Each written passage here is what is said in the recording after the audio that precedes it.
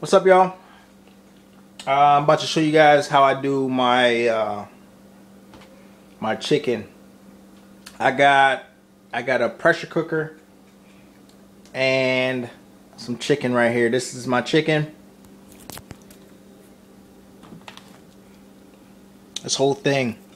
I got it at the farmer's market for about seven bucks and it's about two about two and a half pounds a chicken right there. That should serve me about maybe two days.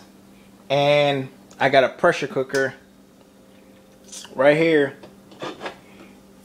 And what I do is I pressure cook my chicken. It takes about 15 minutes to pressure cook, and it's it it falls apart. And what I do, I eat it with barbecue sauce, and that's it. And right now I'm cooking some brown rice right here. Some cook some brown rice, uh, pressure cook some chicken, and that's it. That's my diet for for now. Just chicken and rice, and then about three and a half weeks out. So the about two weeks out, I usually primary my diet will be fish, um, just to lean up a little bit more. So, all right, peace.